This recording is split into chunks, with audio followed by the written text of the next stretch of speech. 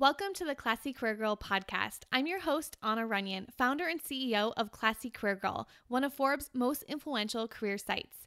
This is a podcast for a community of women who want to turn their passions into work they love. You'll learn how to become happy, successful, and balanced with class, skill, and style. We believe that you can create your future. So stop delaying your great life. Go put yourself out there. You can have your great life and career right now.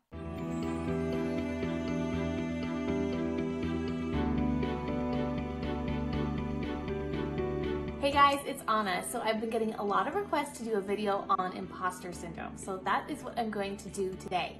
So if you have ever felt like you are not qualified or not good enough to do the job or to do something scary, maybe you're a little uncomfortable and you feel like, who am I to actually do that job? Like, no one is going to think I'm smart enough.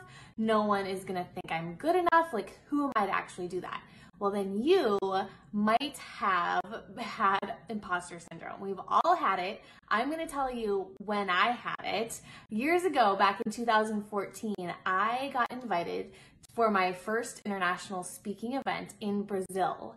And I was scared out of my mind. And I actually was talking to one of my coaches at the time, and I said, I do not believe I'm qualified for this. Like, who I to be flown to Brazil, to be wined and dined? They're gonna do my hair and do my makeup, and I'm gonna speak to thousands of women. Like, they're gonna know I'm an imposter. They're gonna know I'm a fake. They're gonna know, they're gonna be able to tell that I have no idea what I'm talking about.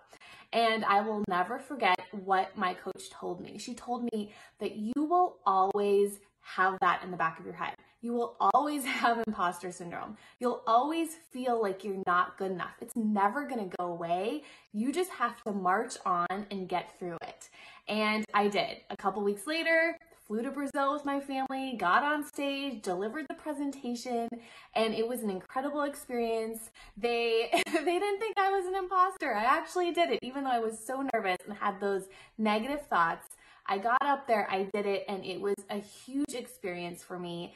So, what I also want to tell you is if you can get past feeling like an imposter, if you can get, you know, take those steps and get over that hump and that fear and feeling like they think you're a fake, and if you can go out there and do it like I did on that stage, the feeling afterward is incredible. The feeling afterward will motivate you and push you to your next uncomfortable level. And I will tell you from my experience, that experience in Brazil, that completely launched our business because I developed so much more confidence from being on stage, from accomplishing that goal to getting over that really, really scary thing that I didn't think I was qualified for. I was able to leap past and then everything just changed after that because I just knew that I could do. If I could speak on stage to thousands of women in Brazil, they were all wearing headphones. They couldn't even understand me. It had to be translated in their language. If I can do that, what else can I do? What I can't I can do anything, right? So it just builds your confidence. So that's what I want to motivate you and inspire you to to do today. If there's something you feel like you're not qualified for, you're not good enough, just try to do it. Go for it because you will experience such an amazing feeling afterward and then you will be unstoppable after you actually do it.